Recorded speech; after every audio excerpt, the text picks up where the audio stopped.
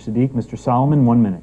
I'm glad I mentioned recordation taxes in the last answer because I did look it up and read a lot about it in preparing for this very debate. And, and yes, as, as Mohammed said, we can't blindly roll it back without saying how we're going to make up for the money that it's we're going to lose by doing that. So I wouldn't support rolling it back, but obviously not increasing it anymore. As far as rent control, uh, when I started working 17 years ago, I lived in affordable housing. I didn't have any more money from my parents. They cut me off after college. They're like, "You're on your own." So I lived in affordable housing for several years and saw, and I, I qualified for it financially.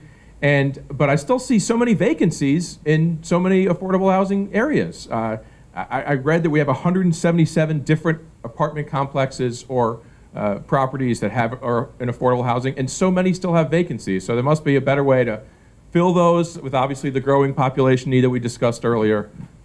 Thank you. Okay, Mr.